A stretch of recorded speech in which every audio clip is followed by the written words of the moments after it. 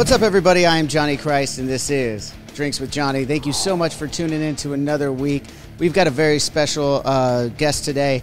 It is, uh, we're, we're days away from Father's Day, so I brought on someone uh, that I think you guys know as father, and you're going to get to know him a little bit better as well. Um, but before we get that, quick reminder, everybody, make sure you subscribe and turn on your notifications right here in the app, as well as heading over into your phone settings, turn on the notifications there. The YouTube channels have uh, allowed creators to get in touch with you guys a little bit better. So we're going to start doing that. So you're going to want to turn on your notifications and so that you do not miss anything Drinks with Johnny related.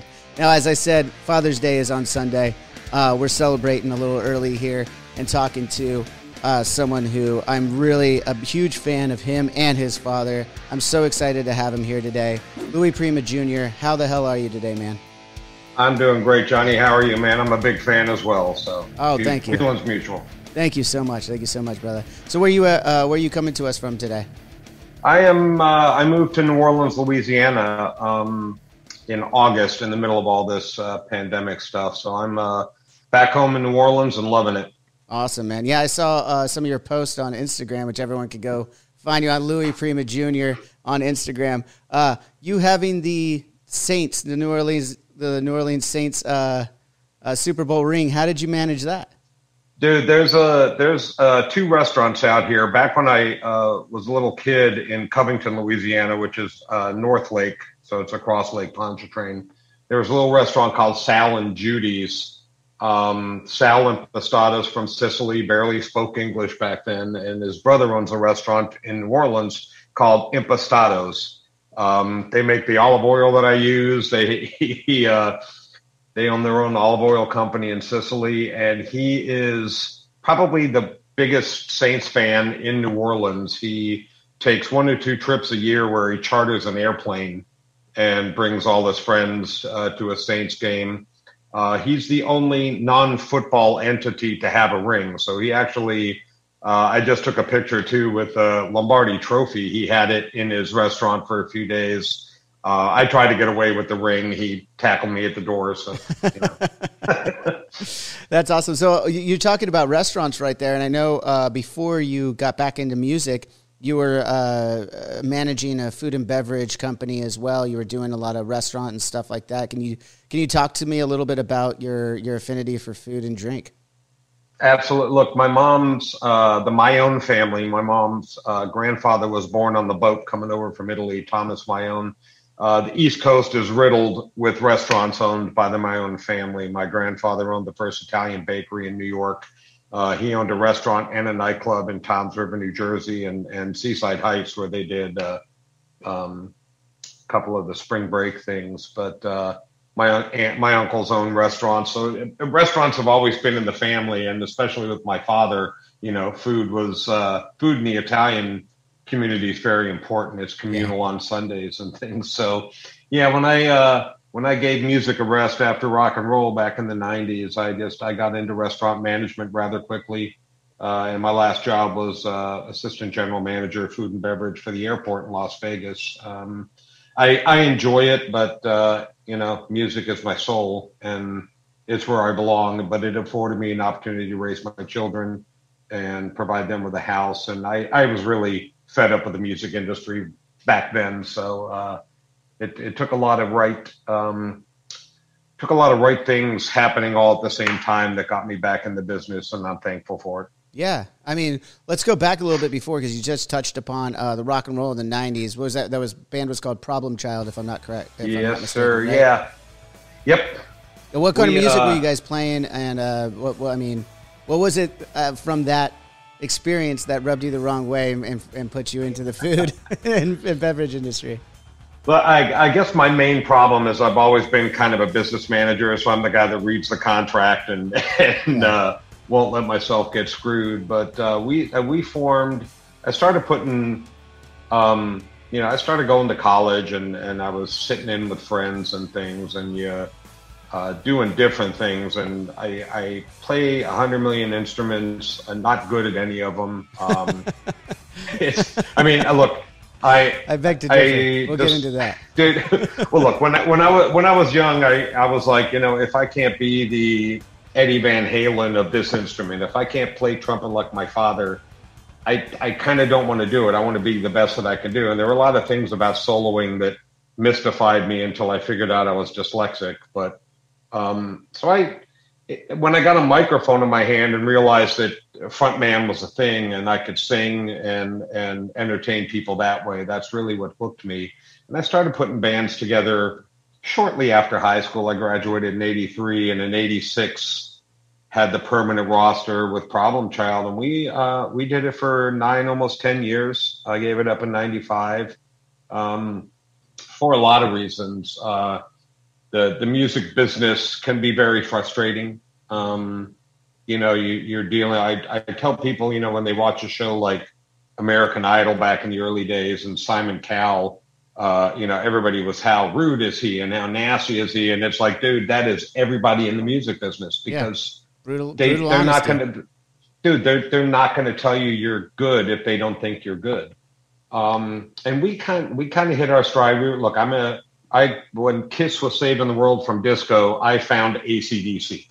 Um, Nice. so I lean, I lean a little heavier on that, on the old ACDC. I sang in an ACDC tribute band up until 2007. Yeah, so were, you hit, um, were you hitting all those high notes with uh, with with Bon Scott and, and, and Brian Johnson? So back in my rock days, like in the ni- or 80s and 90s, I could hit every Brian Johnson note, but those notes are finite, especially when you're clubbing through the LA circuit and things. Yeah. But uh, the um, I, I can't hit. Well, I literally uh, two days ago, somebody called me on stage and I just shook me all night long for the first time in a long time, and I actually hit every note, and I was a little surprised. But uh, Bon Scott's more the forte when it comes to that. So we were. Uh, and, and I leaned on my father's influences. So we bought in a lot of elements of what Jane's Addiction was doing with, you know, some offbeat stuff. And, you know, it wasn't really straight ahead. Uh, I was, you know, much to my current keyboard player's chagrin, writing songs in 5-4 and things. So it was, uh, we were doing a lot of different things, but it was mainly upbeat and happy. And um, we came in at the tail end of, uh, you know, really gained our popularity it, it, toward the tail end of uh, when Guns N' Roses was ticking everybody off, and uh, grunge started happening, and grunge became this thing that I don't understand. I mean, God bless them, but I, that's depression for the sake of depression, and it just wasn't me. Yeah, it wasn't for. And and they, you know, uh, it's you know my. Uh, I had introduced my guitar player to Mark Slaughter very early on, you know, because Slaughter's a Vegas guy, and Mhm. you know we kind of grew up through this together, and uh, they became really good friends. And Slaughter started helping him with his playing and musical ideas, and came in one day and said, "Look, if you um, sing like grunge and do some grunge songs, I'll shop you a deal." And we had already had some, you know, major label interest, a lot of uh, independent labels, and the rest of the band didn't want to go in that direction. And I said, "Bye bye." Um, I'm just I don't want to be depressed and I don't want to play music that somebody else wants me to do. I know that's probably not popular in this day and age with pop music, but that's, you know, I, I've never been like that. I, I do music because I love it and I love the expression that it gives me and I love uh, telling my story or someone else's story through my lyrics or through my songs. And I can't do that if somebody else is telling me what to do. No, of course. I mean, any anybody that wants to put music in a box creatively is is let's just say it they're wrong in my opinion. that's just, that's just Right. not, that's not art anymore. But I want to touch upon something you just you just kind of glossed over. Uh, it, you you were speaking about soloing and stuff, maybe specifically on the trumpet or uh, just soloing on one of the many instruments you play. You mentioned that you found out you were dyslexic and that affected things. How did that affect it for you? What what do you mean by that? So I um when I when I got my SAT scores back going into college, um, the uh, I took them at UNLV in Las Vegas, and they uh, sent me this big box of stuff and come meet with counselors, and because I scored really high. And they called me in and sat me down and asked, said, you know, you, we we at first thought, you know, sorry for the delay. We thought you had cheated. Um, so we had to go through records because you scored so high, yet in school you were miserable. Yeah. So how did you how did you go from this completely mediocre? They're wondering who you copied here? off of. They're wondering who you copied off of. Exactly. so they put me through a battery of tests that yielded the fact that I'm just extremely like worst case scenario dyslexic. I mean, to this day, it's it's so funny. Like I get in arguments with my sons and my girlfriend all the time because I'll say a word and it's just not the right word. It's close. Yeah. And they'll look at me like I'm nuts. And I'm like, you, you got to remember that's the way my brain works. I'll say cakes instead of pies, biscuits instead of donuts. I still don't know which direction an S or a five goes. Wow. So it's weird thing. It's weird things like that. So I, um, I, I, had one of the my high school years. I had one of the most brilliant band directors. I mean, he went on to Akron State and a lot of different colleges, and he, I mean, he yielded uh, Cleto Escobedo, who was uh, Jimmy Kimmel's musical director mm-hmm. on sax, and and some other brilliant players. Um, and I understood theory. I, I understood what they were trying to tell me, and and key changes and all this stuff. I just couldn't make this and this work in tandem. It never. I know what I want to play. It just this doesn't work. Gotcha. Um, so it just it became frustrating because I wanted to be a good soloist. I mean, I could be a bit player. I, I that's not me. I've always the reason why I'm always in management. I don't like working for people. I like to be the boss, and I like to be the boss of what I'm doing. So I enjoy playing. Um, I enjoy playing drums the most because it's a little bit easier as far as you know getting away with a solo, but uh, it just it was it's it's a weird thing to explain to a layman. You'll understand that mm-hmm. it just it you know there's yeah. a lot going on to make what comes out of the speaker work. Absolutely, and um, it just never made sense to me. It just uh, it just wouldn't work. Yeah. That's a, well. I mean, I mean, we'll get to how you overcome that, how you have overcome that, because you did some stuff uh, with your with you and the witness now the re, the revamp of the witness. Uh, we'll get to that right. in a second, though. I just you touched upon uh, learning the drums early on. I believe it was your. I read somewhere that it was your mother that taught you how to play the drums. It was it. It was my mother. I got a little picture floating somewhere around on my social media that I was five years old, sitting behind one of the like this I don't even know if they made mini kits back then, a tiny little set. And I had a, it's funny, I had a, the, the, the left hand drumstick was thicker than the right one and they were metal. One was red and one was blue.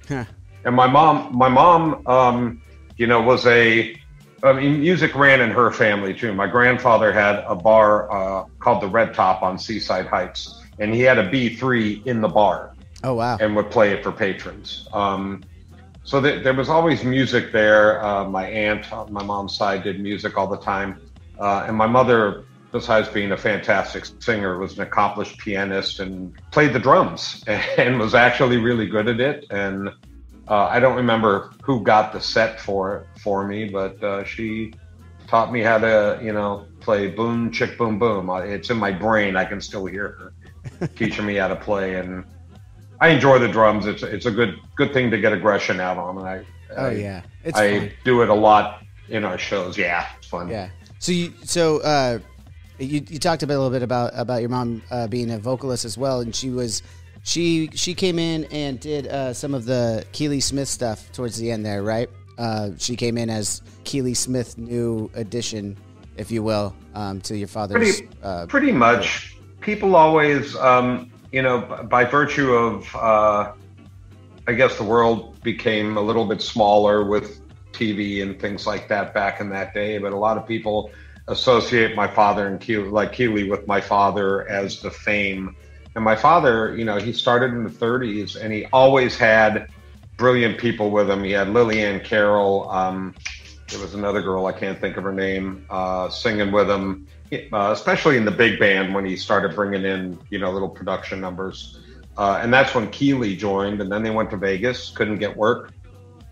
Uh, conned uh, Bill Miller, I believe, at uh, the Sahara into letting him play in the corner of the room, and bought a couple people up from New Orleans, Sam Butera, one of them. Well, I want, and kind of hit it I big. Show you something because you brought up the Sahara and uh, Vegas, and I've got right the record on. right here of uh, Yep. Louis Prima style, Las Vegas with yep. Keely Smith. So this and uh, correct me if I'm wrong on the pronunciation. Is it Sam B- uh, Butera? Butera. Butera. Like okay. butane. Butera. Yeah, butane. Butera. Yeah. So my mom, uh, you know, uh, my father and Keely with their marital problems, whatever, they they kind of split up in about '59. uh, my father did about a year, year and a half by himself, and did some auditions and hired my mother in 60, um, 61, I believe. No, 62. Uh, the, in May, Mother's Day, she got hired actually. Oh, wow. In uh, 62.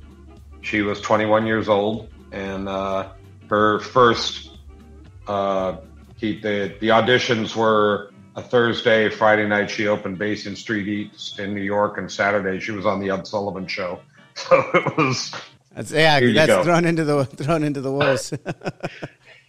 and what a lot of you know, there's I run into a lot of people that will quote, you know, um, start singing songs or mention songs referencing Keely. They were actually my mom. Um, and it's, it's, you know, it's just word association. My mother was actually there for the more, uh, my father played to more people, bigger venues, uh, had a bigger uh, stamp uh, footprint on the music business with my mother. Um, you know, when you talk about the Rat Pack, seeing them at the Sands, uh, that was my mother on stage, not Keely. So there, there's a little bit of misconception, but uh, she, to you know, with the exception of Lily Ann Carol, because I really loved her voice. She had a little lisp thing going on. My mom had a fantastic voice, really an untapped talent. She gave up her career to raise uh, my sister and I. Um, which uh, thank you, but uh, it's unfortunate for her because she she she actually was going to be number one on the charts, but Nancy Sinatra came out with "Boots Are Made for Walking" oh. and uh, kicked her down the charts. So yeah, uh, but I, I loved her voice, great voice. Yeah, that's that's awesome. Thank you for sharing that a little bit there.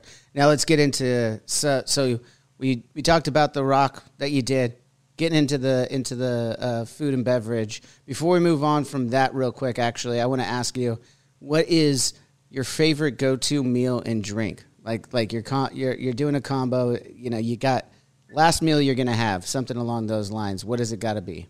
Last meal would have to be a saltimbocca, which is uh, veal with uh, prosciutto, provolone, mm. a little bit of sauce over spaghetti and a good bottle of wine. Um, I've always been a Chianti fan. I've recently become addicted to a good Amarone, but my uh, wallet is going to kill me for the for the price of it. But uh, yeah, um, you know, vodka's my go-to regular drink. Whiskey's my sip and drink. Wine's wine's a good meal. Mm-hmm. Um, I, I'm I'm a I'm a huge veal fan. I like Ossobuco. Uh, probably made my best Ossobuco a couple years ago on Christmas, but uh, uh, I'm a foodie. I, I love food. It's I, there's a reason I go to the gym every day, and it's not you know so much to stay. not, it's not because you're a gym rat. Food. It's not, yeah, it's not because you're a gym rat. It's because you, you, you, you like to eat a lot. no.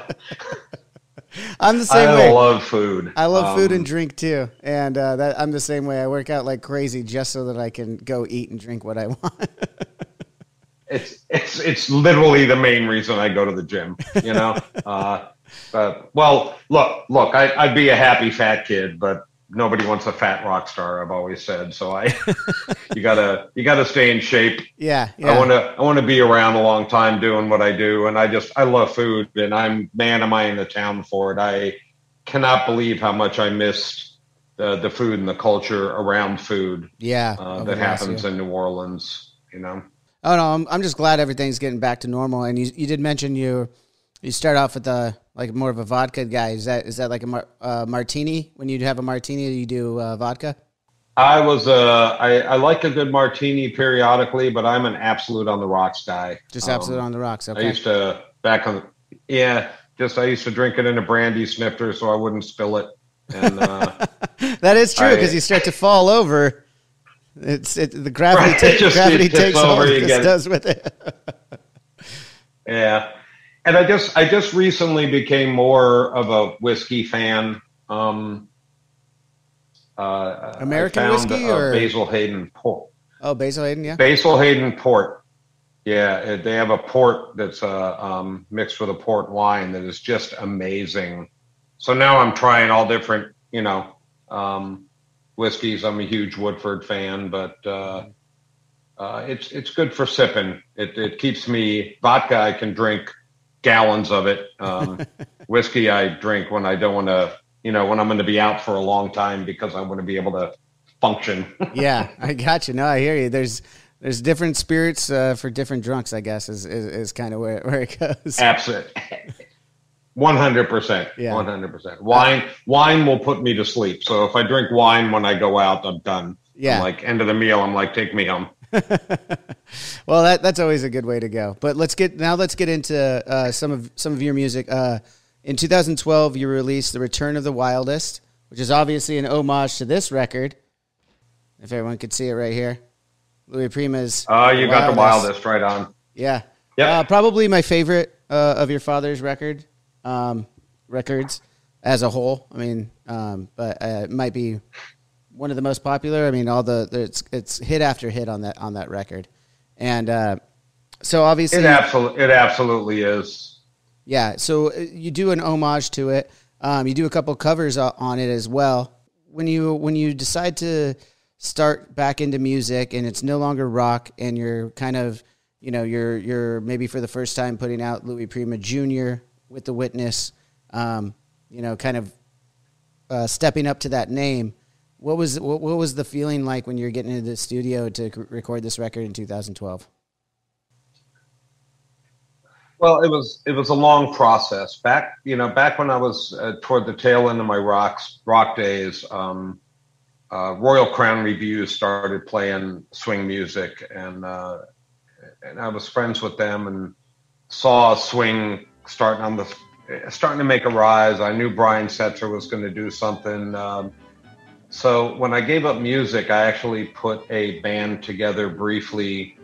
Uh, kind of a different mindset. Like I, I really wanted to just stay in Vegas and, and, you know, play my father's music and play music for a living. And it just didn't, I, I don't know whether it was the band or what, or me or, or whatever the story was, didn't work. Yeah. And I, I like ditched it really quick.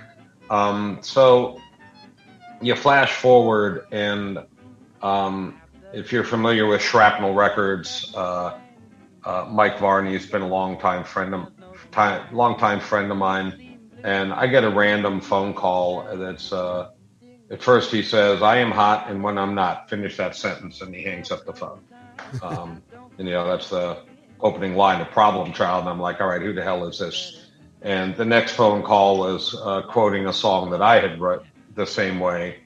And then he calls me finally, and it's like, it's Mike Varney. I'm putting on a show and tribute to your father. Would you be interested in coming out singing? And the next day, like I said, sure. And it was a few weeks away. And the next day, I ran into an old friend of mine from the rock days that had an opportunity for a Louis Prima's type band, and uh, it all kind of just worked in tandem. To where I sat down and I said, "Look, um, I, I've I've dealt with the musicians in Vegas, and I, I if you find me a musical director, somebody will uh, help me out uh, get finding the band that I want, and uh, sure, let's try this. I, I'd love to get back on stage, but." everybody has to know that we talk to that my goal is not to play Louis Prima music. My goal is to take this style and move it forward into the future. You know, I, I, I think in the different levels of the music business, uh, my where I fit in, I, I like to be a creator. I like to write music, and I like people to enjoy what I like to do. i have never been in a cover band of the, the ACDC tribute band. Like I've never done covers. Um, so where I love my father and I 100% love the music and enjoy playing it, it's still a cover band, and I would rather take it as a tool to get where I want to go. So the, the immediate process was finding like-minded musicians, people who were number one entertainers, because uh, for all the brilliant chart readers in the world, I cannot be on the stage with people that stand there. It just, um, yeah. I want people that want the microphone. For me, I want people that want, know how to jump around, learn a song, and know how to perform. So that that was a shoot. I started this about 2004, 2005, and in 2010, I think I had the like-minded band. So we started moving forward. And then when the opportunity came to record, it was. Uh, what are we going to do? And I said, well, look, everybody loves the premium music. We have to play certain numbers during every show. Let's just get that out of the way so we can move forward. Yeah.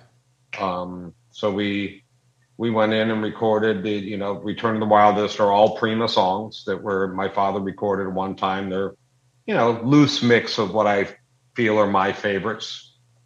And let's get that out of the way and then we can move forward. And just by sheer happenstance, we met uh, Jim Urban from Warrior Records, who uh, had the same mindset and said, let's uh, do this together. And, uh, you know, who'd have, who'd have thunk at 45 years old, you finally get a record deal. But at 45 years old, I finally got a record deal. Wow. And he's of a like mind. He wants, he enjoys, um, you know, and he contributes to our creative process and, and has put us in Capitol Records now twice. Uh, we just got done finishing recording number three and should be getting it out uh, in the fall. But uh, it's, uh, you know, like I said, for 45 years old, I got a record deal. Who who the hell thinks that's going to happen? yeah, yeah. Uh, number two, number two. I'm fortunate. It, it's just it's just the weirdest thing to me, and now I'm doing what I've wanted to do all along, which is create, perform for people, uh, make the world happy one song at a time. Yeah, no, that's that's a great that's a great philosophy right there. So you mentioned uh, uh, Return of the Wildest uh, doing a bunch of uh, your father's songs. Uh, one of them that uh, I wanted to talk about was your interpretation of "I Want to Be Like You" from the Jungle Book.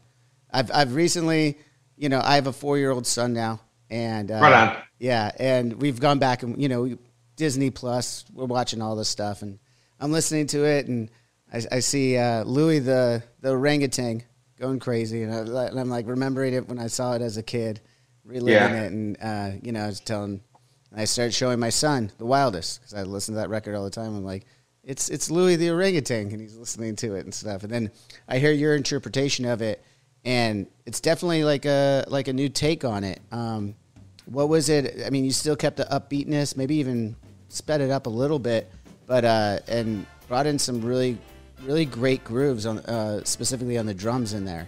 Um, Thank you. Uh, what, what, what, was the inspiration there? I mean, obviously, it's a cover uh, to to an extent, but you you're putting your own flavor on it.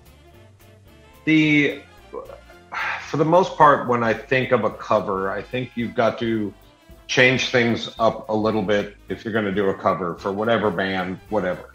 Um, if you try to stay too too true to the arrangement you know, then why did you do it? Yeah. Um, but when we went to record this and we were we sat down and started making a list of songs, um, we we didn't even play "I Want to Be Like You" live at all. And as we started touring, um, it became a very requested song that we just didn't do. Mm-hmm. Um, and I don't, I have no answer as to why it wasn't in the set. I, I don't know. I think I thought I think I thought it was so iconic that if you didn't have the middle part with the, you know, with the witness, my dad's witnesses, pretend, you know, being the monkeys and, you know, the banter back and forth, I felt like if that wasn't in there, the song was going to lose something. Then as I thought about it some more, you know, the song I Want to Be Like You is uh, kind of a I don't know, kind kind of not ironic. Irony is not the good word. I may need to call on Alanis Morissette and check with her, but um, it's uh, not irony, but it, it's you know with what I was trying to do, it's it's a little poetic. Uh, yes. Yeah. So so let me so let me take it, and it's really the one song that we really did take on that album and twist in the direction that I wanted to go. Not mm-hmm. fully, but I, you know, putting the organ in there and and the drum beats and uh, some of the things we did and changing the lyrics ever so slightly uh, to where it wasn't so much as you know man you know, cub and things like that. I don't mean to cut you off there, but I do have to mention uh, lyrically, I, I do think it was brilliant, and, it, and it, it, it, points to your poetic point there a second ago, where uh, you don't know where uh, Louis uh, Louis begin Louis ends, Louis ends and Prima, Junior. Junior uh, yeah, yeah uh, that's a great line there. So it was it was done a lot on purpose. That was the song that I just wanted on the album. It was the first one that I said I need to record this, and I want to do this with it. And I had sat I had sat by myself for a long time and thought about the arrangement and how I wanted it to go. And I, you know, I've got people uh, a couple critics that came and said they prefer the original, and I was like, I prefer the original, but this is what I need to do. Yeah. In order to move forward, because if I don't move forward, um, you know, where do you go from there? If I, I, I don't like moving laterals, so it was a concerted effort to move it forward. Uh, and thank you for enjoying the arrangement because it's uh, it's very poetic to me when I sing it. It's very meaningful to me, and it's look, it's it's the one song that you can play in any country to any fan base, any age, and they know the song. Oh yeah, you know when somebody says when somebody says who's Louis Prima, and you go, hold on, I got one. And, you know, you put that. You know, you play funny. that they know what it is. Yeah, it's funny you mentioned that though, because I, I, I do feel that uh, that way for a lot of people. They they might not know Louis Prima, uh, the name, but they know the songs. I mean, they've been in so many movies, yes. let alone anything like. Uh, and over the years, uh, before we go on to Blow, I want to talk a little bit about since we're in the in the the vein of covers right now. Over the years, there's been so many covers, and I feel like a lot of people of these new generations don't even realize they're covers. Like famously in the rock world, you know, David Lee Roth did "I'm Just a right. Gigolo." And you know, I don't know. You know, I mean, I, I would hope people know that that's a cover, but you know what I mean. like some some don't. It's it's surprising. You yeah. know, some don't. Some don't know "Jump Jive and Wail" was my father. Uh, yeah, they yeah. Certain, Brian Setzer did a great job yeah. covering it, but like I mean, that was and so many and, people and have covered so many Louis Prima songs over the years. Well, and you know, and I think the biggest one is "Sing, Sing, Sing," which mm-hmm. um, you know, uh, it's not. If you bring that song title up to a lot of people, they're going to say, "I don't know that song." Until they turn on a Chips Ahoy commercial or watch an ice skating competition or a dancing competition or or a GE commercial or and, and I could just go on and on. Swing Kids, there's a million things. Um, but when I say, you know, and it's it's the it's the first song ever put in the Grammy Hall of Fame. Mm-hmm. Um, it was a, you know, one of the biggest hits for Benny Goodman back in the big band days. Everybody knows the song. Absolutely nobody knows Louis Prima wrote it. Yeah. And it's, you know, but that's I think I think in a way I mirror um, his philosophy. He he modeled his career off the stage. He didn't he really didn't care about the records and the sales and the, that end of it. He just he wanted to be on stage making people happy up to the end, and uh, I I mirror him a, a, lot of ways that way. I would I'd give up the world to be on stage, and you know that definitely comes across. Un- unfortunately, the last year and a half, a lot of us have given up the world just to waiting for that stage to hit. Yeah, yeah. Well, I mean, you're going to be getting up, getting back on stage. Well, this is a perfect time to talk a little bit about it. You got some tour dates yeah. coming up, and people could go find those tour dates at louisprimajr.com, correct? Yep, louisprimajr.com. Yeah, all it's all on there. Of course, the calendar is linked through bands in town, and you can uh, click it to track us. And um, we have you got some Jersey. You know, thank God I've got New York, L.A., Las Vegas. Uh, yes, we, are Michigan. Michigan. We we actually have um, about 50 dates right now through the end of September, starting in July. Awesome. Uh, I hope I hope most of them come through. You know, uh, they're going to fall off. The the booking end of the world right now is a mess I do not envy my agent or my manager at all. um, but to the to those that are listening, you know, wondering when we're going to get back down to Florida or Louisiana or um, you know Atlanta and places like that, we're coming. Uh, all our usual venues that we play, we're coming. Um, all the new venues, we had 120 dates in 2020 that canceled. Um, so we're hoping to get you know, uh, we're hoping to recoup at least a lot of them uh, within the next six months to a year. Uh, we do have the new album coming out, uh, and we're going to be touring to support, and we're going to come see everybody. Rest assured, we're getting back to it. Um, we can't wait to get back on stage, but oh, yeah. louisprimajr.com, that's going to direct you everywhere, and you'll know when we're coming to your town. Absolutely, I can't wait for the LA show. I hope I hope I'm around for it, and, and can come out and check it out. I hope so too. But uh, yeah, speaking of the stage though, you guys you do pay homage just on stage just by being yourself to your father. I see like with the with the banter with the the, the fun everyone's jumping around and having a good time. You still have you know you're accompanied by by a female uh, most of the time and then you got your band the, the witness. And you guys are all just having fun, dancing around, and having a good time with it. I mean, and, and I see that even going back to some of those Ed Sullivan shows with your with your father, where you know the the guys in the band are falling all over each other, and you know, and you know, and uh, wooing and, and everything on parts, and it's it's just it's it's great fun, man, and uh, I see that a lot in your performances. Thank you. It's it's a lost element in music, um, uh, and very heavy lost element in the late '90s and stuff. Um, I've always said to people that don't understand why um, the current level of pop music is as big as it is today, you know, because there's not a lot of music involved in it. There's a lot of lights, there's a lot of dancers, there's a lot of choreography, there's a lot of show. And when I go to a show, I want to see it all. I want to see a great band um, playing good music, true to how the music's supposed to sound. I want them to entertain me as well. Uh, you want the light show, so it's uh, music isn't just a audio thing. We could all sit at home and listen to the records all day long. When you go to a show, it's everything involved, and I think a lot of music got very dry stage performance wise. You go see people and they're just standing there, and it's like, come on, you know, I could to watch the guy next door with this garage band do the exact same thing. What are you going to do to entertain me? Yeah. Um, no, and you know, my father was the greatest showman there there was. People, uh, people came. You know, I still hear it from people in popular music today when you run into him how much they like the he influences everybody across everywhere with his performance. Um, and I, you know, whether I am emulating or whether it's just in me that's the way i've been throughout my career and it was I, you know i touched on it earlier it was important to me looking for musicians and finding a band that i found a band not hired guys not you know i wanted guys that want the stage as much as i do um, I love that. I, I, want guys that want to entertain as much as I do.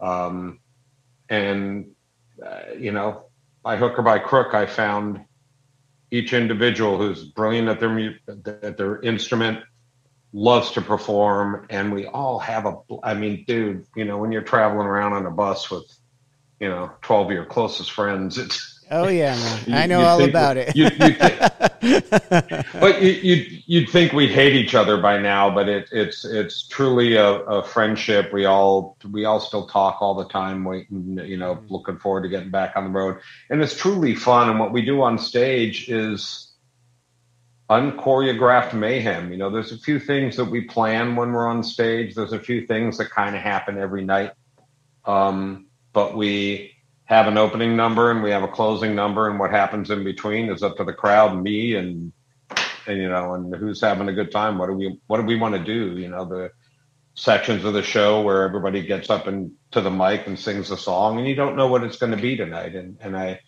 it, as long as it's fresh for us, I think it's fresh for the crowd. You know, and uh, and we we've had we've had some amazing crowds that you just you know, they're jumping and hooting and hollering, and I'm like, that's what a show should be.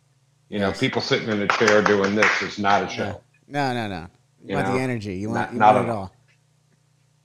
I want people to get up, dance, scream, holler. I want them to have the time of their life. And we, um, thankfully, I think we do that. Um, yeah. I we get a lot of people all you know. I've got the most diverse age group I think of an act that's out there. Um, and it's all ages. They come to the show and they they. What does it range from typically? So our our high end is 35 to 65, but it's flat all the way across it. So there's an equal number, and you know it drops off before 35. They're still there, um, but it's it's it, it's like an equal percentage all the way across. You would think there'd be a peak or a valley, and it's not. Uh, and I think it's a I, I, think it's a tribute to the hard work we do on the road because we don't. I, I've never targeted a specific audience or a specific uh, club or demographic. I want all people. I think this is music everybody should enjoy. Um, you know, I, I, think it's in the same league as you know J. Geils' band back in the day and things like that. That it's just a party band having a great time and people, you know, I they pick we up. do hear that. it a lot. People, they they and we hear it a lot. People come after you know I'm one of the few bands uh, when the when the band is finishing the last number, I'm running to the front of the auditorium because I do want to shake hands and I do want to meet people. Um, and I think it's important. And then I make, you know, it, early on I made the whole band, but now they all enjoy it. They they come up to the front and we get to meet people. And absolutely everybody is like, I didn't expect this show to be like this. I didn't expect it to be such a rock show. Um, mm-hmm. You know, when when you playing back here again, I, I, there's a maybe a misconception on what type of show I'm doing.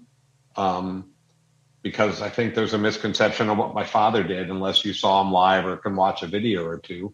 Yeah, they probably wouldn't know. You know yeah, they probably wouldn't know. Again, it goes back to a lot of people don't even realize they've known Louis Prima music their whole lives. You know, so how, how would they yep, have seen it live? It's been there forever. Yeah, right. So it's and it's neat. I it's it's neat to be able to touch people. I love the stories of my father that you hear from people um, and what the music meant to them. And it's you know it's a it's a privilege and an honor to carry that on. And I am fortunate to be able to move it forward, create new, and keep that style of music going. You know. Yeah. Well, let's talk a little bit about that. You mentioned uh, the Witness, uh, the band. Uh, you got uh, each individual together. Did that? Let me ask a little bit about when you guys went in to record "Blow" in 2014, or it was released in 2014. Um, are all these guys uh, part of the Witness? Are, are they are they all playing on this album? Um, and and how does your process work? So we've had a few changes throughout the years, um, and it's mainly because the road isn't for everybody. Absolutely. Um, and we're and, and we are road dogs, and if it's not for you, I understand. Um, but the core members of the band, uh, my drummer uh, Adi Adams, um, uh, uh, he's been in the music business 100 years, the the East Coast circuit. Uh, who did he play for? Trickster for a while. Oh, um, okay. But he's played with it. He's played with everybody in God. Uh, living in Phoenix right now. Uh, my guitar player uh, Ryan McKay is out of Phoenix as well. Um, I actually hired them, met them at the same time uh, with my old bass player. Uh, rest in peace, Mikey Bones was one of my best friends. I'm sorry. Met them, and well, it, and the, and it brought a punk rock element to the music that I really needed and wanted, um, because it the music is kind of punk rock. You know, it is yeah. kind of rock and roll. Um, so the guitar player Ryan is brilliant. Um, that he's one of the most talented cats I've ever seen. Very, so very knowledgeable in all genres of music and plays exactly what needs to be done and can get up there and rip a rock solo over a jazz tune uh, better than anybody. That's right. Um, so them two and my tenor sax player Marco Palos. Now Marco is probably the most talented sax player on the planet right now. Uh, you'll find very few people to argue with me on that. Um, he he works at Disney's and the uh, one of the cast and at Walt Disney. Uh, oh shit! He's got his own band uh, that he travels around with. He plays with several other bands. He's a monster, true monster. Um, and we get together. We started getting together in Phoenix. Started on the road a little bit. You, you know, bouncing ideas off each other. What are we going to do for this album? Um, because I want to move it forward. So we first thing to get out of the way was, uh, okay, we're going to do a couple Prima tunes, and maybe that's it, uh, just to get them out of the way. But let's make them our own, like Robin Hood. Yeah, uh, was a huge hit from my father in the big band days, and we took that and just twisted it up and made it our own.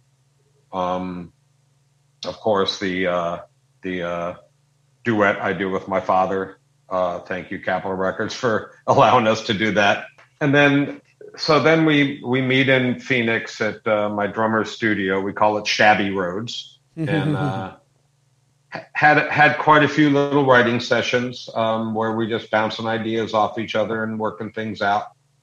Um, you know, come back down, do another couple writing sessions just to work things out. And uh, bamo, you got some songs.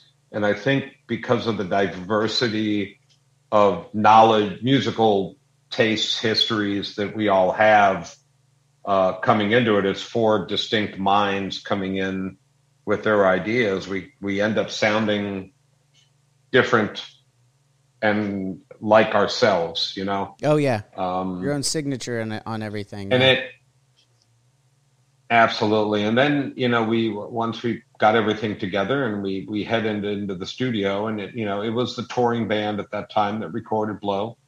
Um, that was the first time Jim Urban was in the studio with us. Uh, um, he he and I produced the album together, uh, and he is brilliant.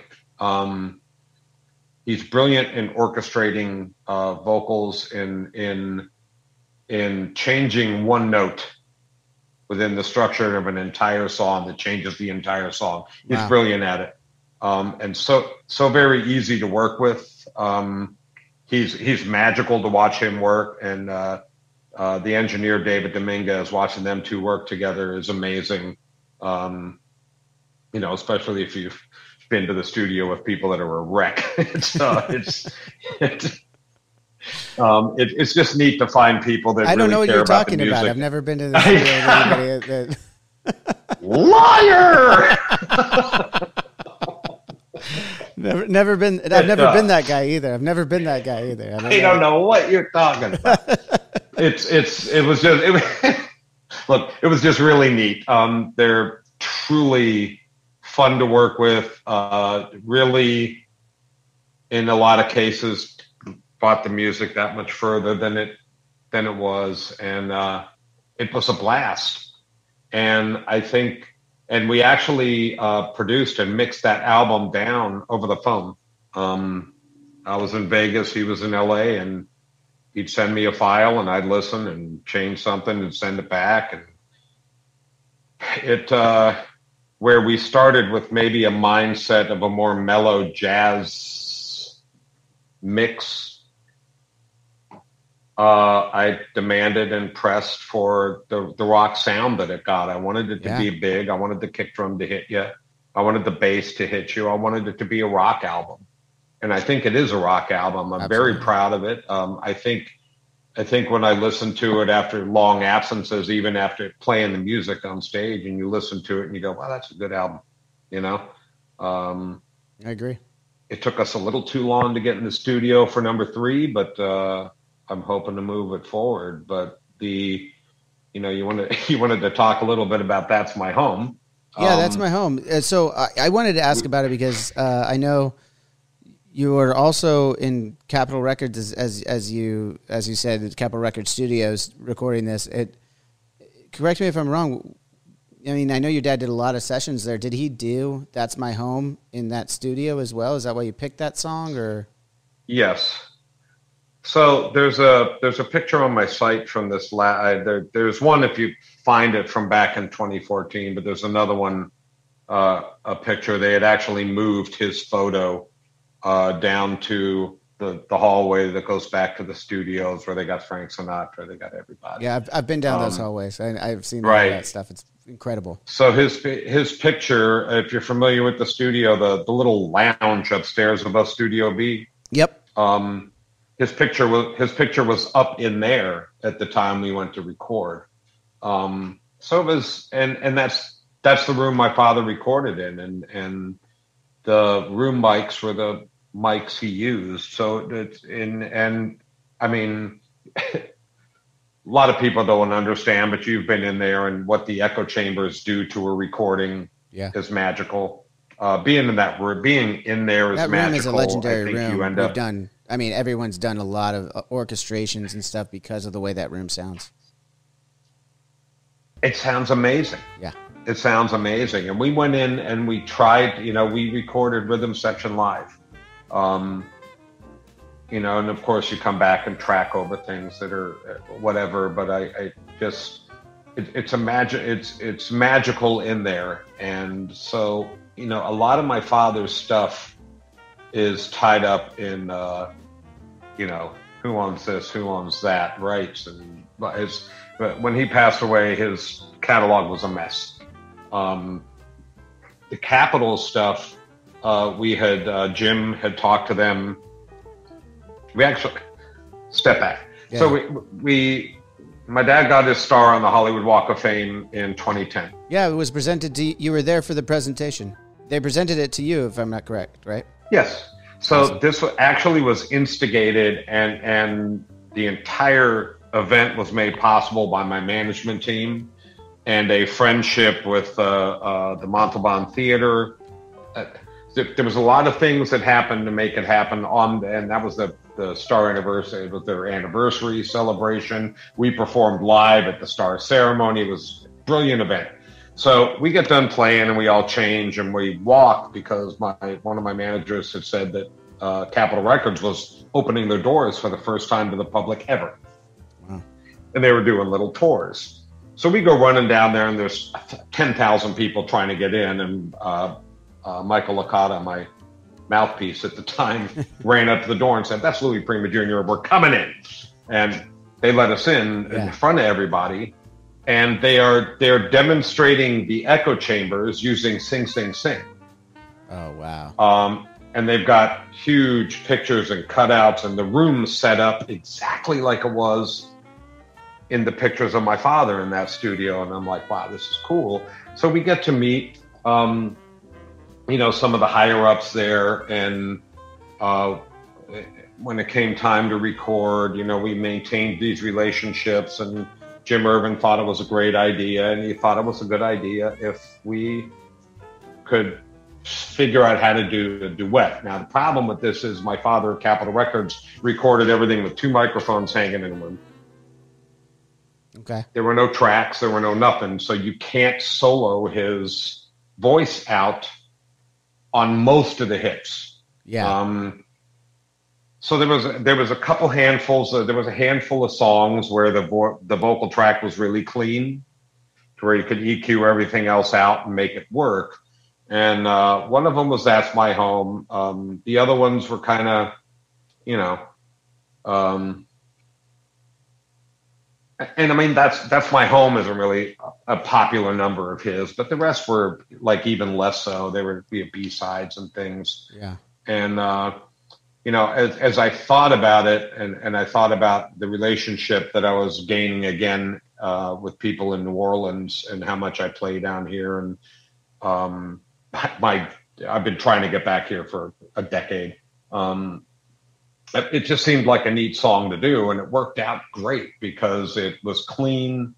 Um, the band could, my band could play over it, and then he, my father and I, you know, would go back and forth on the trumpet, and um, I, I, think for the first time, I hear something and go, "Wow, I, I, do sound a little bit like my father, and I do play a little bit like him." And yeah, uh, that was cool. You know, um, it's a neat little thing, and when people hear it, they're floored. Yeah, I mean, I absolutely was floored when I heard it, especially when you get at the end and you guys do the duet scat at the end. I was just like, oh man, I guess. You know, it, those are the things. Those are the emotions, not just the the fun and everything. Those are the emotions that music could bring too. Where it's just like, I can't put myself eh, specifically in your shoes, but you know, we've all lost someone, and to be able to share that moment with someone like your father, nonetheless. I mean, after uh, you know, post, post grave. I mean, that must have just been such a moving. Even listening uh, to it, it's moving. Just to be a irreplaceable it, moment. Yeah, yeah. It's a it's a irreplaceable moment that not a lot of people get to have, and and it was it was neat, man. It was it was neat, and uh, spoiler alert: there may or may not be a new one, another one on the new album. Oh wow! I can't wait to hear the new album, man. I really can't. You said that's coming out in the fall, right? Yeah, yeah we actually it. finished recording. We walked out of Capitol Records, and the next day the world shut down. Okay. Um, I actually went and finished up vocal tracks uh, and I, I, rode my motorcycle to LA from Vegas, and I was the only guy on the road. I mean, there was everybody was inside. Um, Wait, that's how you. That's how you rolled in. That's how you rolled to, in. I'm sorry to cut you off. That's how you rolled into Capitol Records is on your on your bike from from from Vegas. Yeah, yeah. See, that's some rock star shit right there. You gotta you yeah. gotta you gotta let that be known a little bit more. That is. Look, you can take the rock and roll, uh, the guy out of the rock and roll. You can't take the rock out of the guy. Um, we so we you know as we sat and watched you know we all sat and waited and waited and waited and waited and you hoped that okay this is going to be a month okay it's going to be a month and 15 days all right 15 more days two months three months and, and as everything's canceling and falling off we just sat on it and uh, we uh, jim and i talked couple months ago, and uh, you know, looking at what our schedule was looking like, because you know, you, um, it, it's it's hard to explain to a lot of people the difference between recording an album yourself and you know pressing it on CD baby and getting it out and dealing with the record label and universal music distribution where you have guidelines you got to live by. You've got to have tour dates. You've got to have promotions. You got to have all the things in place and none of us had any of that in place so only the uber rich were putting anything out Yeah. so we we talked, we looked at the schedule and said, all right, let's mix it because it's literally we're mixing it right now. Um, and let's try to get it out the end of summer, early fall. Let's let's keep an eye on the schedule on what's going on. And so we're as long as the schedule keeps building, we're good.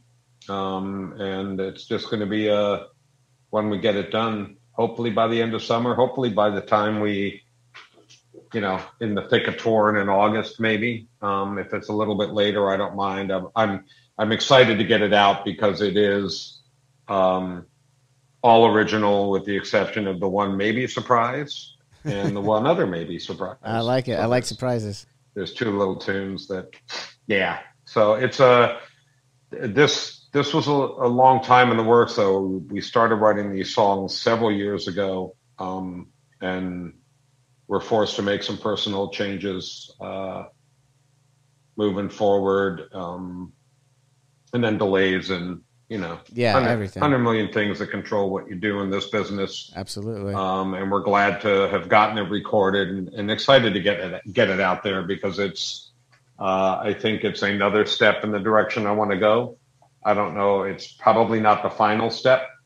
Um, but it's it's a it's it's getting close to the end of where I think album number four will be the sound and the idea that we all have for this band, and uh, I'm just uh, we're all ecstatic to just get it there yeah. and get it out and see what the people think. You know, Now, if uh, you you're mentioning the the timeline of your tour and the album release, do you think you'll be playing any any songs from the new album on your tour, or do you think you'll wait until it's released? yes, we we we actually uh, played a couple on our last couple of dates um, before uh, actually before we recorded them.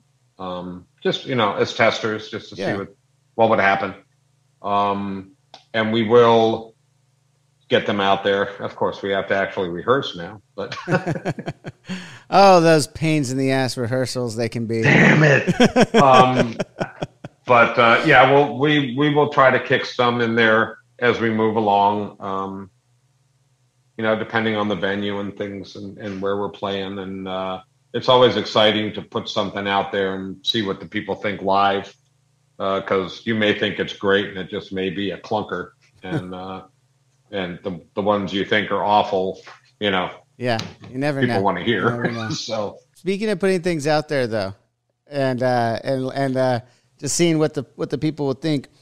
I mean, I noticed, you know, blow could also be part of you know blowing the horns and stuff, but I couldn't help but notice the way blow was written on the album cover. Uh, you mentioned you were in a rock band through the '80s.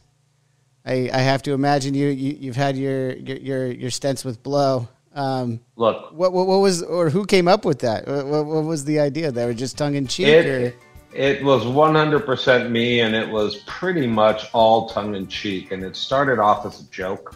Mhm. Um, and it actually started off so we we got into the studio and we did not have an instrumental song. And uh, we we got into the studio and um, Marco, my sax player, came in with the idea and we worked it out while we were in there. And it's one of those songs that we couldn't use a click track to start the band off um, just because of the intro. Mhm. And so as we were, you know, Marco, as we're getting ready to record the rhythm section, Marco's in a little in that little room that goes into the control booth at Studio B. Yep. And over the microphone, he says, um, "Are you ready? I'm just going to blow." and he blows. And we ended up keeping that as the intro to the album. We added the when I say hey, you know on the, on the album I say hey Marco, why don't you play that number you've been working on? And he says yeah yeah yeah all right all right all right. That we added before after the fact, but the all right I'm just going to blow that was, was the original first take oh, of trying awesome. to record the rhythm section. So when it came time to name the song, I was like, just call it Blow. And we all agreed, mainly because I think I'm doing with horns in in music what hasn't been done since maybe Tower of Power. That horns oh, are so much of a little back incident, and I'm throwing them out there in front, you know, yeah. and and it's it's an integral part of the music. So blow made sense. Um, so then we move forward to what are we going to name the album? And uh, uh, I, I thought Blow was a good name for the album.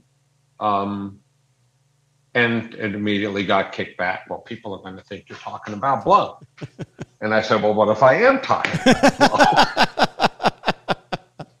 yeah, what if? What if? What if? What if I am? so we're going back and forth a little bit, and I came up with a, a good friend of ours, Althea in uh, Boston, had taken the album cover picture, um, which I thought was a brilliant album cover picture. I had my my oldest son uh, is an artist and tattoo artist. He did a right? lot of touch up. Yeah, uh, yep, tattoos and and brilliant artist as well. Uh, but he um, he did most of the touch up work on it, cleaning it up, getting rid of some of the lights and things to give it the what it was. And I said I go, I want, I have seen somebody do this, um, like within the month that we were going back and forth over Blow. My management company was adamant we weren't going to call it Blow. Jim from the record label was just sitting in the chair laughing, watching it all happen. Um, That's where I'd be too. somebody had somebody had taken a stick and drawn a word in sand and then did a negative image of it. Yeah. And it looked so cool. So I said, Jacob, go draw in the sand the word blow and let me see it in sand, like the reverse image. It just said like it had this cool look. Um, so he plops it on the artwork and sends it over to me, and I went, "Oh wow, that looks like blow." yeah, then, uh, as I'm thinking about, it, you didn't have, you weren't, you weren't sure that it was. You just thought it was going to look cool, and then you go. No, I thought Sam. it was going to look cool. I had no idea it was going to look. I'm like thinking that. in my head because I've already seen it. Maybe just because I've already seen it. But I'm thinking about sand spelling out blow and going, well, yeah, that's going to be that's going to look like cocaine. But it wasn't like if you could look at the negative image of what it looks like, it was this neat little effect. And he sent that back to me, and I'm laughing. And I I went okay. And I sent it off to my manager and Jim, and Jim's laughing. And my, no, you can't do that. People are gonna. so I said, all right, you really want to, you really want to go that far? I got the, I got it back. Told Jacob, I said, throw some dust on it because it, it was just like. so he made it. He made it worse, and I kid you not, I could I could find it right now and send it to you. I sent them a mock-up on on the artwork you know, when you submit the artwork, I stuck it on there and submitted it. And at the top, I had a razor blade with my logo on it. And I said, There, now what do you think? Oh, man. That's of brilliant. Course, Jim Irvin's laughing his ass off. and uh, my management company's in an uproar. And I was like, call him. I go, Look, I'm just playing, but I really think this is there. And I like the tongue in cheek of it. Yeah. Um, you convinced it. Uh, let people, you know, look, uh, no press is bad press. Uh, if, if, it gets you, if it gets you talking about it, it gets you talking about it. We've had some funny conversations over it. I literally, um, I went to the World War, the World War II Museum here in New Orleans has a brilliant stage and things. And a few years ago, uh, for, you know, total backstory. They don't like me because my sister doesn't like me. Um, wait, what? Wait, but, what? What? what? Oh, yeah, yeah. wait a so, second. anyway, so we go, we go. We're coming back to that. And, and I'll come back. And my mother had had dealings with them uh, during the whole 2010 Jazz Fest for my father, mm-hmm. so we went in there and had a meeting and said, look, how do I, how do I get to come down here and do a couple shows? How do, how do we budget this out? I mean, I know it's a small room and she gets, she sits, she sits a heavy sign goes, I don't think you're right for our crowd. I said, well, why don't you think I'm right for your crowd? She goes, with all of your cocaine references. All of them. I was like, all of them? the album, the album blow. And I went, all right, never mind. Picked up my stuff and left. It's just, it's, uh, I like that there was all I, of them because I'm like, I'm, I'm interested now. Where, where are the other references I missed? I, don't, know. was so long ago. Yeah. I, I it, it, very very tongue in cheek. Um, I've gotten a kick out of it. I think I think ninety five percent of the world looks at that album and goes, "Hey, he's, he's referencing cocaine." And oh yeah. They just and they just don't care. The other five percent, you know what? Go buy another album. Yeah, exactly. Is it this? Oops. Yeah. the label doesn't like you saying it, but I love it. yeah. we talked a little bit about your son as uh, as an artist, but um, I also know that you taught him to play drums. You've actually had him up on stage with you a few times. Um, two different. Well, that's different sons. So my oh, so my oldest okay. son.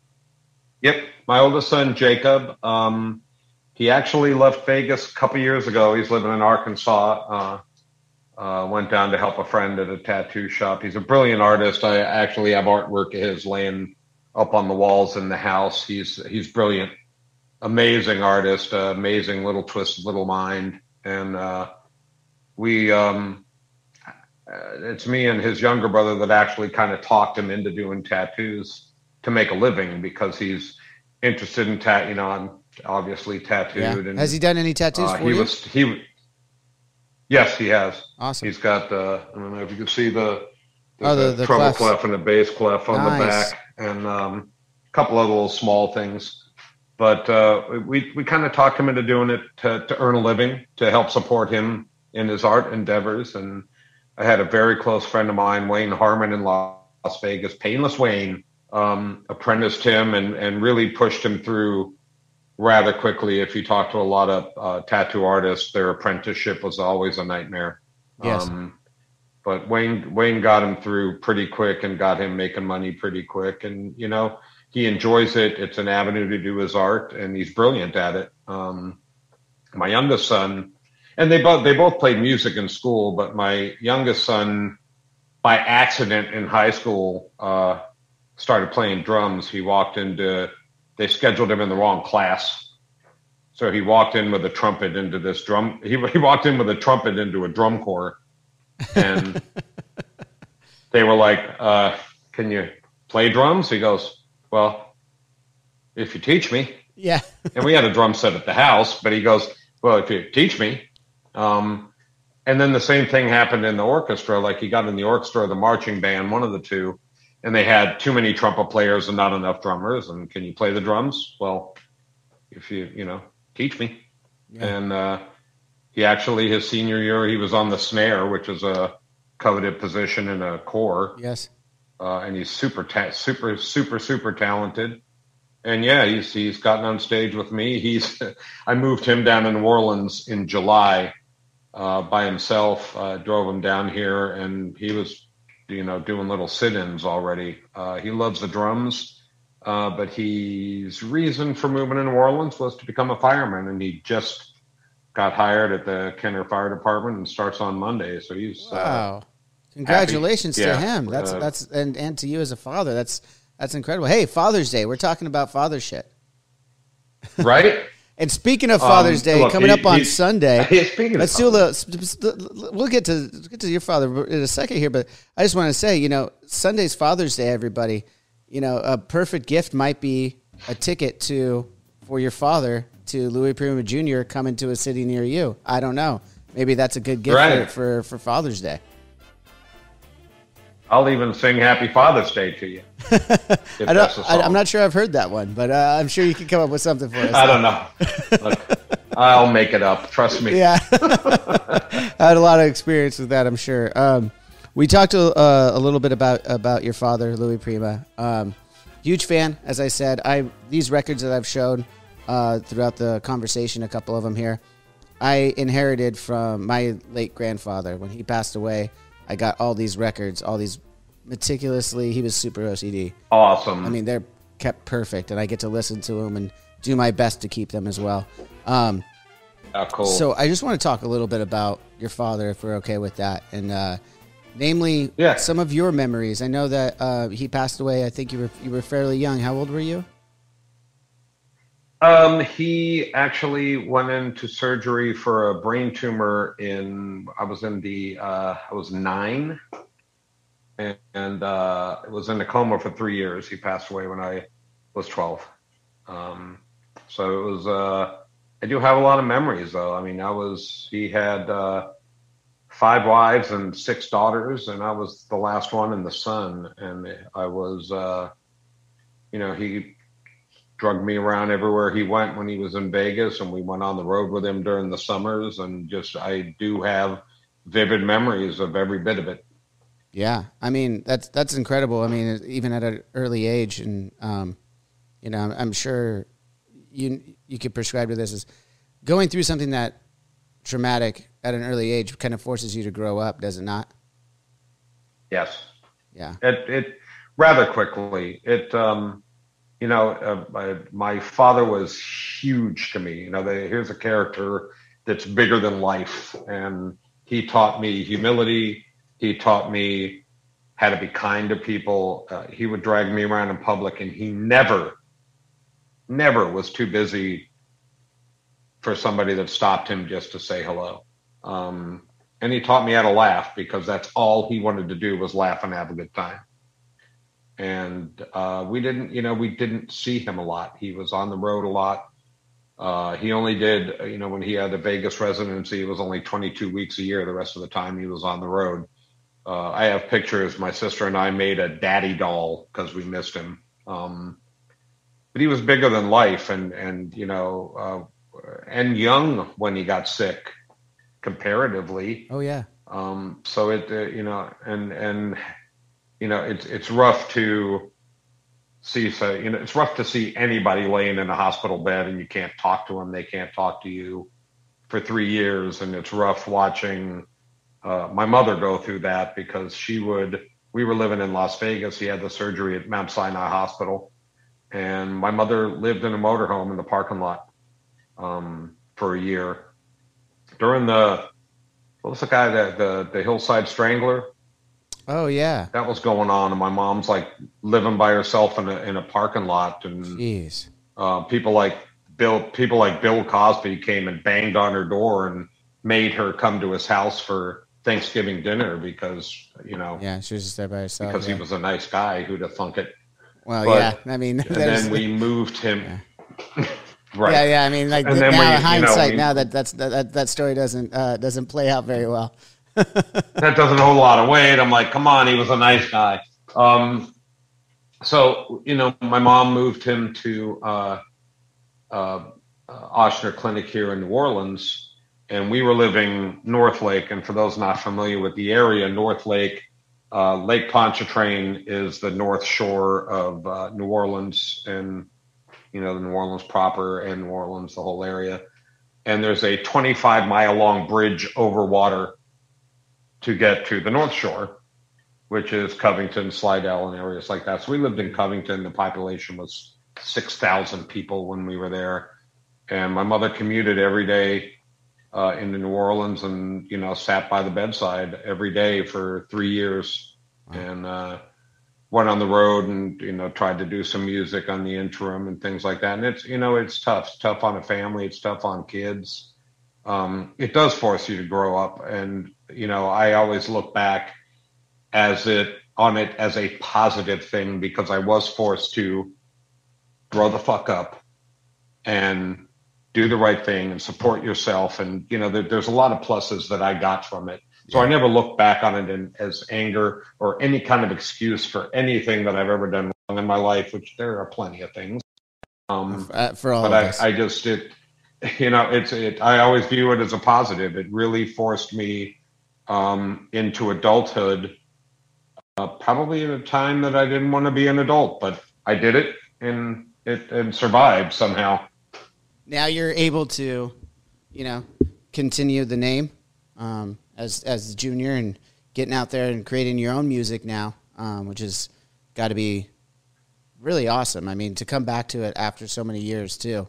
Um, it's a, it's a neat little, it's a neat little circle to come back to, you know. Yeah. And it's a, it's a very intriguing the, story to me. I mean, it really is. Like even prior. Well, I, look, I'm I'm I'm fortunate. I'm fortunate. I'm fortunate. I'm blessed. I say it a million times, and I really am. Um, a to just you know, I, I come from a legacy that a lot of people don't come from, and I see a lot of people in similar situations um, uh, get myself in trouble, squander the opportunities that they're given um, to create and be their own person.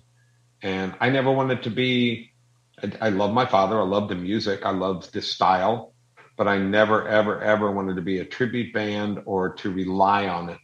Uh, I wanted. I and I fought it for a lot. I mean, that's what rock and roll was. I was fighting it. Um, and I finally got to a place in my brain where I could, I viewed it as I'm, I'm using it as a tool to get where I'm going and I'm fortunate that it has allowed me to get where I'm going, and hopefully I can continue getting there. Yeah, absolutely. Um, last couple things I want to ask about uh, in regards to your father. Um, a lot of ties to the Rat Pack. Did some stuff with Sinatra. A lot of that fun stuff. Were you? Did you have any memories? Did you did you get to meet some of the guys in the Rat Pack at some point when you're uh, early on, or were they pretty much? Do you have any anything I, that? I don't remember meeting Sinatra ever, um, but we met. I mean, I met everybody um, because my father had the golf course in Las Vegas, and yeah. a lot of the a lot of the celebrities would come out and play that course rather than one of the more popular ones. So, you know, people like uh, Dean Martin, Jimmy Durante, uh, Sammy Davis Jr. I, I got to meet uh, um, Joe Frazier after the day after Muhammad Ali beat him. Oh wow! Yeah, there, there's there's uh, Debbie Reynolds, um, Al Hirt. I mean, the, the list goes on and on and on. But it's weird. Like as a kid, you, I didn't. I like I thought these were just dad's friends, you know. And, and I think I never really, as a kid, you know, even though I'm going to shows, we used to sit in the sound booth at the Sands and watch the shows and go on the road and see them. I, I, I don't think it was ever anything different. I thought that was normal, my Normal childhood. Um, so it's uh, it's weird to you know maybe I would have got a better view or a different view of it had it been you know high school or teen years. But as a kid, that was my normal life, and I'm uh, you know I had fond memories of all of it. I mean, look, I was in the recording studio and my father recorded his last song, which was ironically his only ballad. And it was called "I'm Leaving You."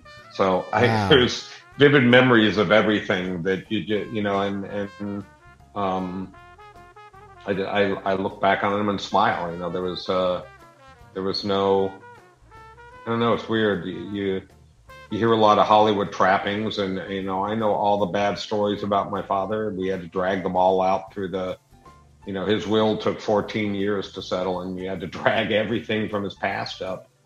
Um, but I you know, for the most part, we didn't have any of those trappings. It was, you know, every every every Sunday he drug us out of bed and took us to church at six in the morning and made us smile and poured coffee down our throats. And five o'clock when he was home, five o'clock was dinner every night. It was a regular Italian household. I, I don't, you know, yeah. Um, I'm fortunate, fortunate.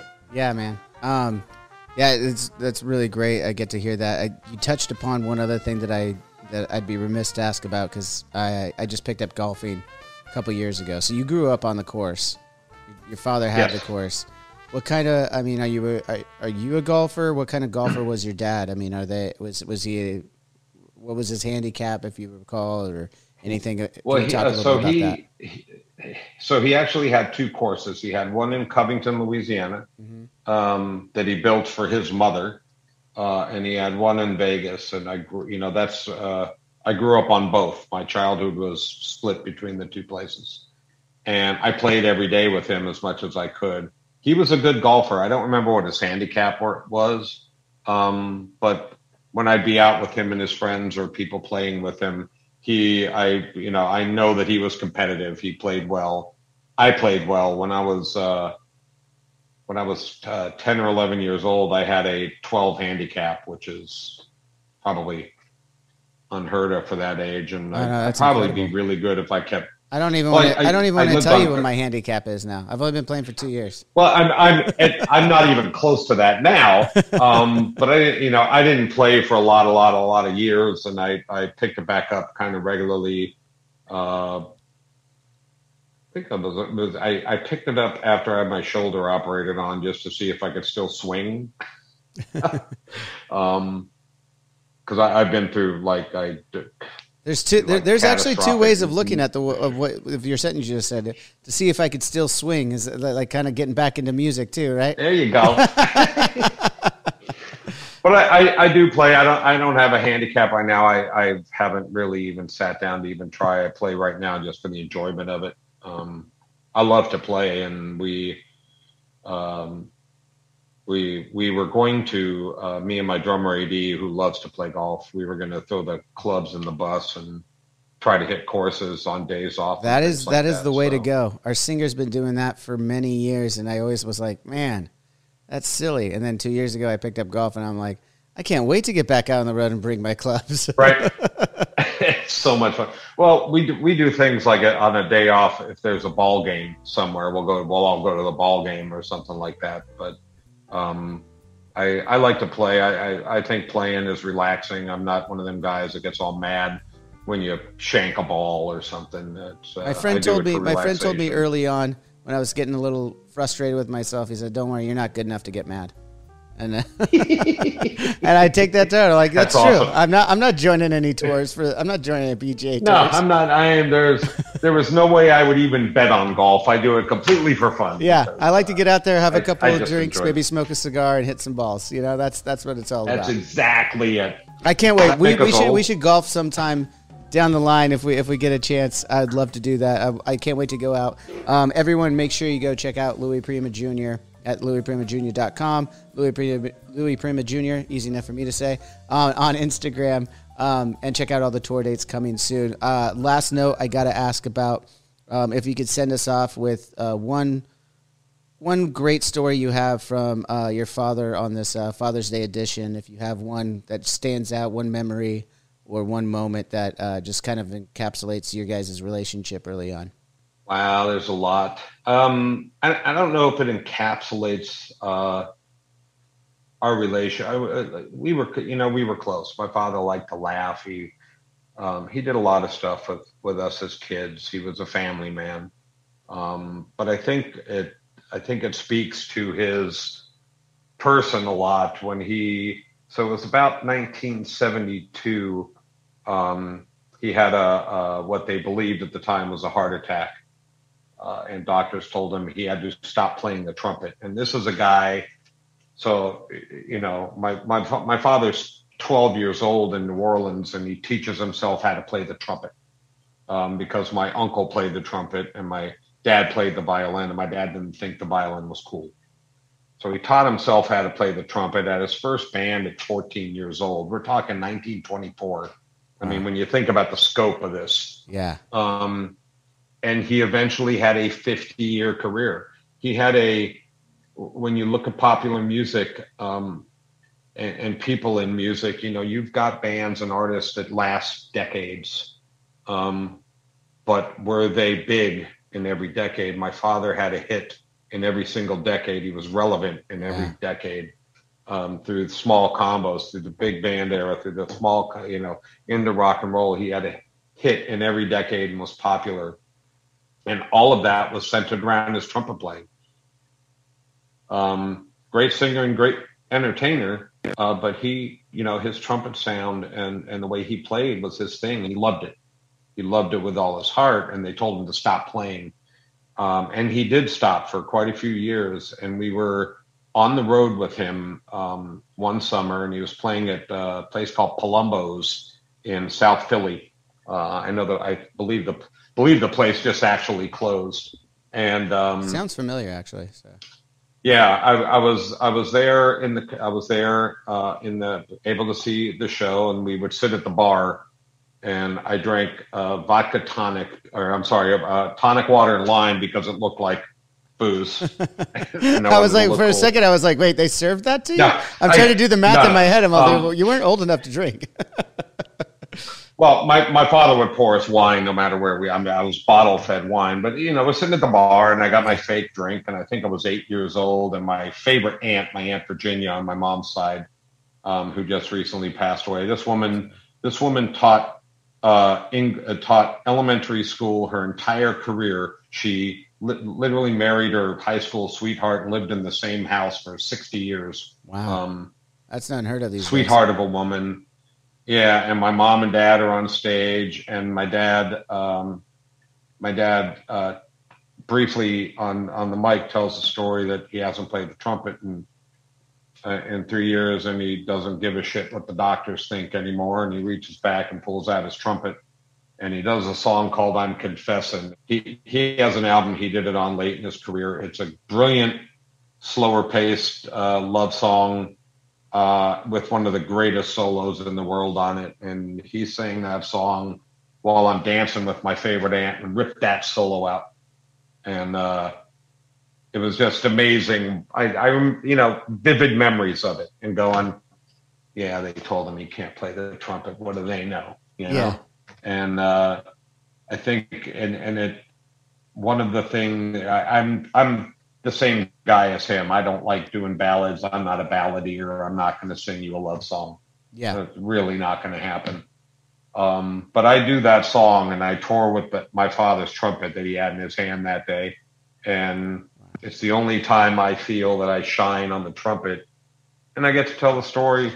You know that this is this is uh, you know that that was a shining moment to me from my father to stand up to the world and go I'm I'm doing what I want because I'm standing up and doing what I want and fortunate to be doing it. Yeah, no, that is so so incredible. That's a great story. Thank you for sharing and thank you for being on the show, man. Yeah. I really appreciate the time. We went a little long, and uh, well, I'll, I'll let you get going here. I'd love to do it again when the world allows us and uh, really throw a little party. It's it's it's been a blast. I'm like I said, I'm a huge fan, and thank you. Uh, you need anything from me, I'm there, and I hope you get a chance to come out and see us. Um, I'm sure you dig the show and brush up on a number and come on up with us. I would love, I'd, I would love nothing more than that. That would be great. We'll have some drinks and have some fun with it. Again, everyone, go check out Louis Prima Jr. Hell yeah! Everywhere you find Louis Prima Jr., easy enough to find. And uh, until next time, we'll see you guys. Cheers. And that's going to do it for this week's episode, this very special Father's Day edition. Thank you guys for tuning in. Thanks to Louis Prima Jr. for being on the show. That's right, it's Father's Day on Sunday. And if you're looking for the perfect gift, look no further than drinkswithjohnny.com.